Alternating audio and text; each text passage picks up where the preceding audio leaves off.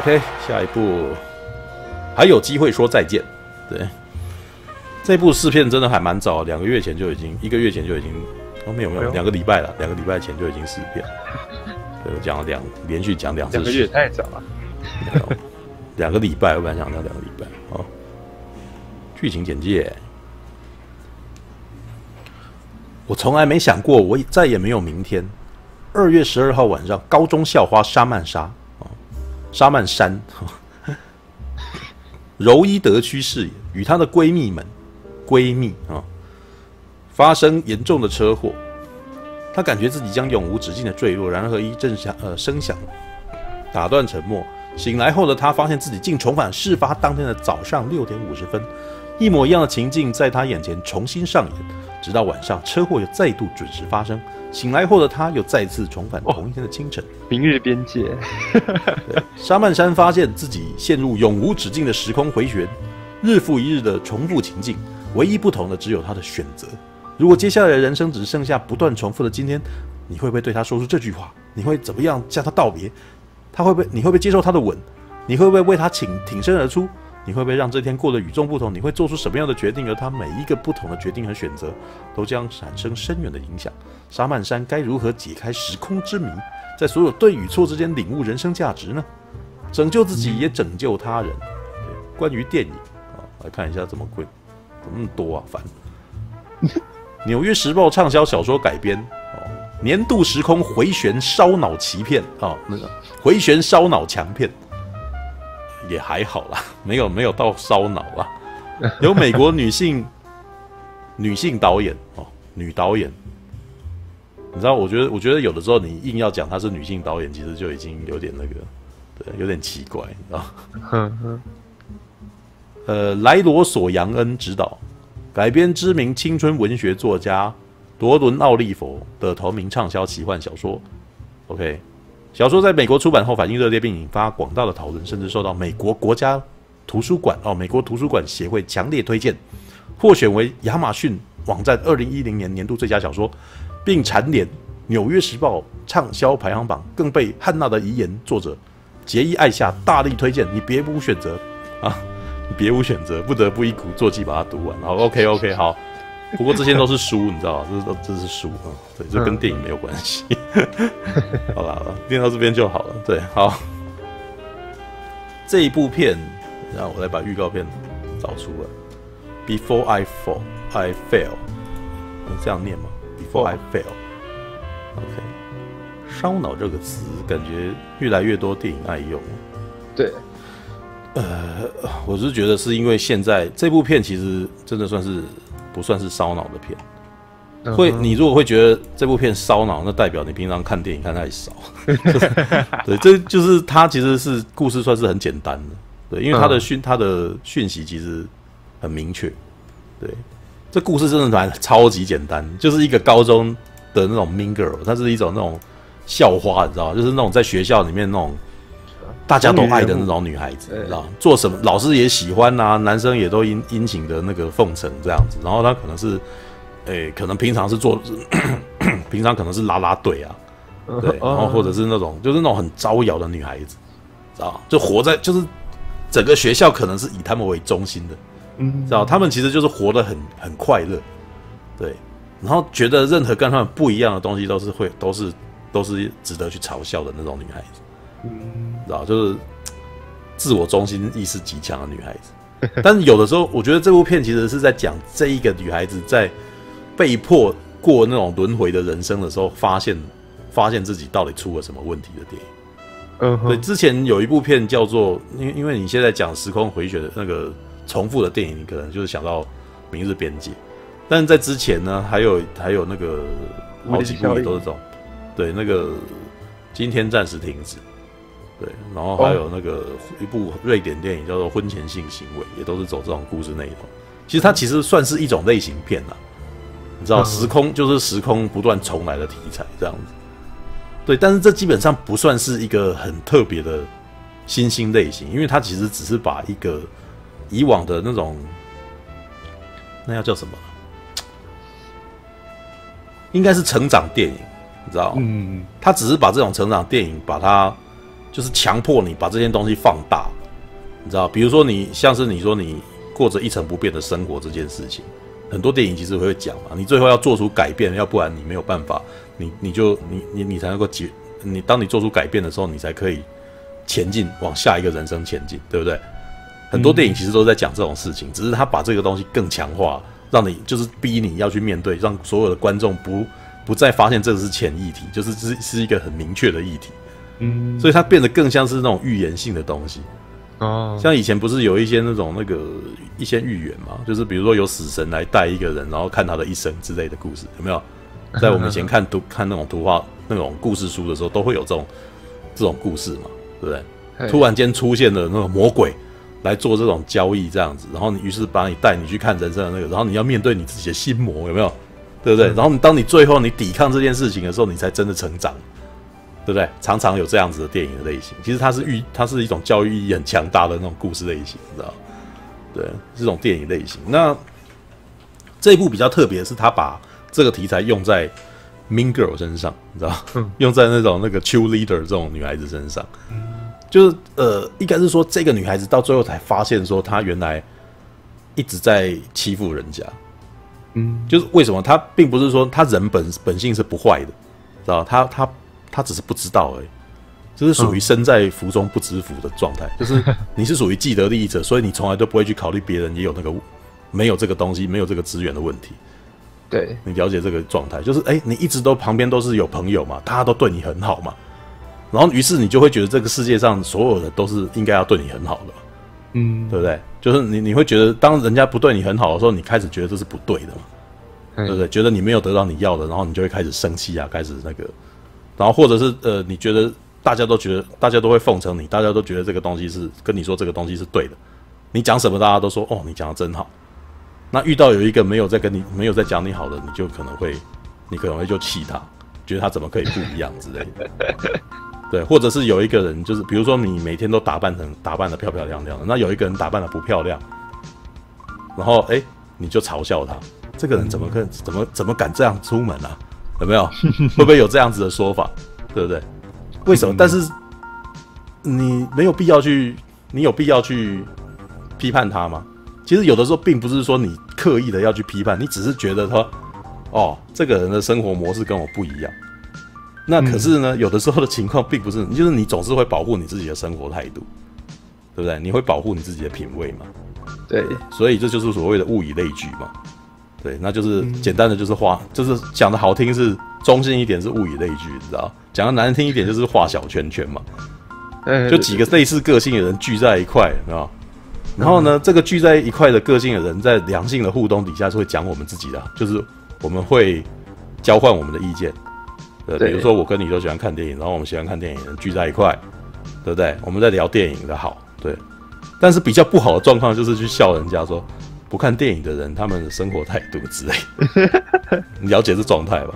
嗯对，但是有的时候会变成会互相攻击啊。嗯，对，所以这就是我之前在讲的，比如说，好看电影的人，跟玩游戏的人，跟看日本动画的人，这三批人会互相攻击对方。哦，真的吗？对啊，会啊，会互相戏虐，会互相嘲笑对方的喜好。对哦，对，但是事实上我有讲过，就这三样东西其实很很像。知道，都是属于戏剧形式。嗯，对。但是，但是有趣的地方就是，因为我不是说我在做影片制作嘛，然后做影片制作的时候，有的时候我就会去看这三个地方的，因为我就喜欢看动画，喜欢玩游戏，也喜欢看电影，然后三个地方的讨论区都会去 take 去看嘛，然后我就会意外的发现说，他们其实都就是呃，他们喜欢，他们其实都还蛮清楚。电影就是影像工程的一部分，但是他们不知道别的部分，对，这很有趣，这超有趣。就是比如说看电影的人，他们其实会比较对那个剧情，哦，或者是那个角色演表演怎么之类的，可能会比较感兴趣。对对对。但是呢，看日本动画的人呢，他们对于声音表演啊，嗯，还有那个什么剪接的卡、兼用卡这件事情。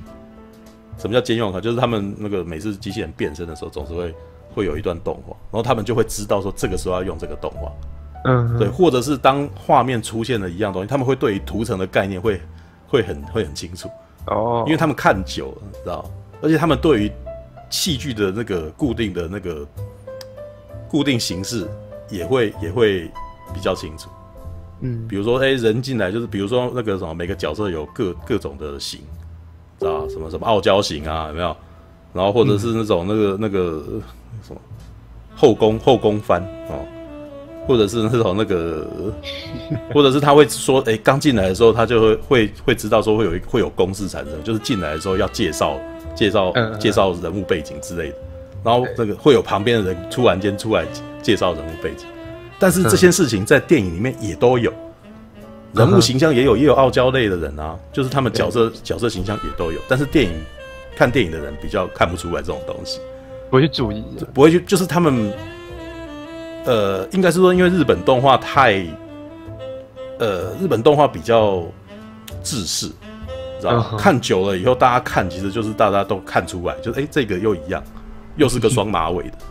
对，但是这个，但是是美国美国的电影，他们可能就是因为他们呃场景可能会变比较多，然后这些东西会变得比较隐性，但事实上嗯东西是一样的。那日本、嗯日看日本动画的 fans 就比较会比较看得出来这些东西，哦，兼用卡啊，或者这个画面停留的太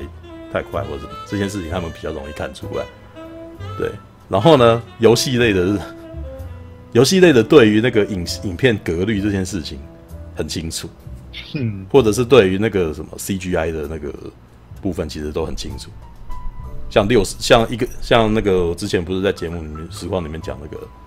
一秒二十四格、一秒三十格跟一秒六十格，知道这个他们每天都在比较。知道玩游戏之前就已经在那边讲说，哦，那个 PS 四可以达到那个九百 P 啊，什么或者一零八零 P 有没有？六十四格什么东西的有没有？对，然后那个那个什么什么一秒可以有六十六十格，然后画面比较流畅，有没有？对，但是这个其实只要是影片都有这个东西，对。但是你会发现这三个这三个呃这三个 part 的人都只知道都通常都知道电影工程的一部分，但是他们就会互相轻蔑对方，互相攻击对方这样子。对，有的时候我会看到啦，目我不我现在没办法举出一个确切的案例了，对。但是讲了那么多，其实也是在讲这些这这部片其实就在讲类似的事情。他只是在告诉你说，你平常你不要你以为你的那个日常生活是如此的理所当然，但是事实上你你有的时候只是觉得你完全没做错事，但是你已经有意无意的伤害了别人之类。嗯，对，那其实这个类型，其实在最近其实还蛮常看到，像之前还有那个、我最近玩的一个游戏啊，哇，那游戏叫什么名字啊？叫《奇妙人生》。哦哦，对奇妙人生的，我看这部片我就觉得真的超像奇奇妙人生。对，对对对，奇妙人生的故事其实也是在讲那个，等一下，来直接切自己的，直接切自己的影片来看。OK，奇妙人生的故事其实还，它其实是在讲说比较接近蝴蝶效应啊，比较接近蝴蝶效应。它其实是在讲说一个女孩子突然间发现自己有一天可以把时间转换，她可以穿梭在时间当中。可是呢，这个时空是线性的，就是如果你在过去做了什么事情，你现在的时空就会被影响，对，嗯它不会变成那个，它不会变成那种那种平行时空什么的。嗯然后他因为他的一个非常好的朋友被枪击了，所以他去救了这个女孩子，就救了他的好朋友这样。可是却发现之后的这个事情都一直不断的变化，所以他必须要一直不断的，就是他变成一个所谓的超级英雄，你知道吗？就是，但是他的超级英雄的作为只能够做成作为在这个小镇当中。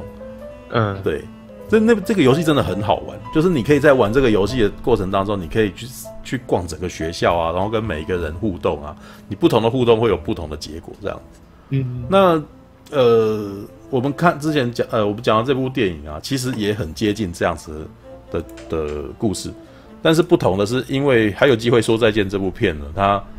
毕竟是线性的剧情。嗯对它如果是作为游戏，你就可以，哎、如果我们还有别的选择，我们就可以回去这样，然后再去看哦各种人这样子。但是还有机会说说再见这一部片，其实就是很明显的，就是你你必须要跟着这个女主角的路线去做这样。然后呢，他呃，因为他是讲一个可爱单纯的女孩子的故事，对，所以这部片其实在某些程度，你知道，就是当你发现，比如说，好，我问你，如果当你发现你可以一直不断重复过这一天，你会做很多，你会做些什么事情？就是做一些不用考虑后果的事情。对啊，你你就会开始，你中间，呃，通常在之前的电影也都有这样子的东西，你知道？对，就是像那个《今天暂时停止》里面的男主角，他就是当他发现了这件事情，他后来有点不知道该怎么办，所以他就开始去做各种奇怪的事情，比如说学别的国家的语言之类，然后突然间去看电影之类的。对，那那个我之前看过一部叫做《婚前性行为》，瑞典的，你知道那一部还还蛮可爱的，你知道那一部其实是在讲说一个男孩，一个男生，他在去结婚的前一天。被他的朋友们设计陷害了，就是他的一个好像是他妈吉的朋友，可是事实上想要抢他的太太，然后他就在前一天晚上就是那种单身 party 把他灌醉，然后把他全部脱光光，然后旁边的朋友可能也是觉得就是可能是开玩笑，所以就是很高兴，就是把他全身脱光，脱光了以后把他丢在丢在那个电梯里面，然后在他屁股里面塞一个保险套，是不是那个 naked？对，naked，对。那部在台湾叫做婚婚前性行为，然后呃最近其实有重拍啦，最近 Netflix 有重拍一部叫啊对对对裸，对 改名叫裸这样，对，但是内部的那个瑞典瑞典版很可爱，我当时看的时候觉得很可，就是当他醒过来之后，发现事情就是那一天失败以后，然后他发现他可以重复的时候啊。对，算了，我还是不要用 naked 好，用 naked 全部打出来都是一边一些人的裸体，知道吗？等下会被人家警，知道吗？然后那个呃，当他发现他可以就是可以过每一天以后，他就还就就做了很多很好笑的事情，去抢银行啊，然后或者去跟 就是然后或者就是光光着身体在外面跑来跑去之类的。然后里面那那个婚前性行为里面有一段戏很可爱，就是就是他们那一天晚，通常不管他过。任何事情，他最后晚上当天都是爸爸妈妈他们那一家人晚上吃饭的时候在吃饭这样子所以有几场戏就是他爸爸妈妈晚上吃饭的时候就看说今天他儿子没有去结婚，然后去上了新闻这样，就脱光衣服然后在那边撒钞票之类，就是你会觉得这超好笑，就是他们是用蒙太奇去解决这件事情这样，就就是讲说他做了各种奇奇怪怪的事情这样，对，那那那部真的很好玩，我还蛮喜欢那部片的，然后我当年。看的时候还是大学生，然后看完又很高兴，赶快就是还还写文泼墨这样。只是这部片其实，在台湾很少人知道啊。嗯，但是我还蛮推的。就是其实时空穿梭，就是一直不断重来的这种这种题材的片，其实一直都还蛮好看，就是很好发挥，啊，只要你就是它的剧情总是会让你很引人入胜，你总是会一直很想要看说这个女孩子会怎么样这样。但剧本其实在写的时候也就变成要要很注意。你知道，因为你你你的那个时间线动了，然后为什么要改变啊什么之类，其实这个剧本的编排上其实是挺重要的。这样，那这部片其实还蛮好看的。就是如果你喜欢看戏的话，你想要去看那个什么，就是想要看到底最后会怎么样的话，对你，我其实觉得你还是可以，就你就你可以也可以去挑这部片来看。嗯，因为当我们其实今年还蛮有趣的，进入八月之后的电影基本上怎么都变成了那个什么。剧情为重的片，就不是大片的，就还还蛮有趣的啊！今年还在暑假的时候，暑假后半段已经这样子，对，之前后继无力的感觉。之前确确有写说，哎，